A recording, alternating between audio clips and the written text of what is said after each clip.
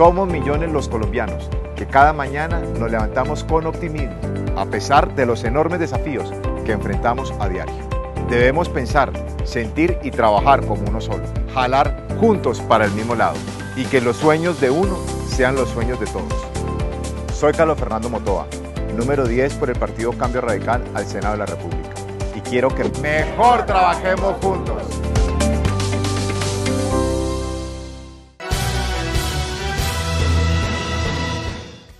Y la Administración Departamental anunció la realización de varias obras en el municipio de Fortul. El alcalde de esa localidad pidió a la gobernación que los trabajos se realicen en la temporada de verano.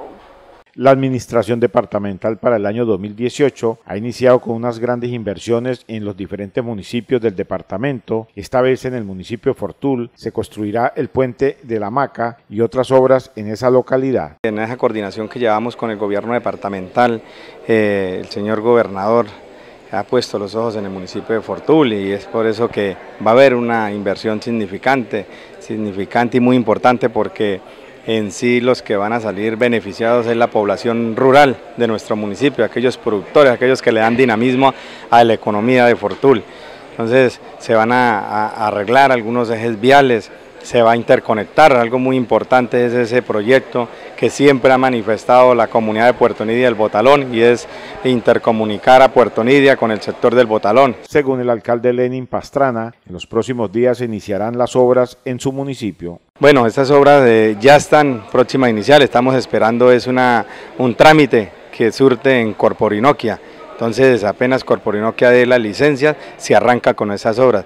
Estamos esperando de que arranquen ya en los próximos días, ya que aprovechamos de que estamos en época de verano y que los ríos se dejan trabajar mejor. En el casco urbano se hará una inversión en mantenimiento de algunas vías. También eh, en el casco urbano se van a invertir unos, unos recursos significantes para el mejoramiento de unas vías en concreto rígido, como lo mismo en Caranal.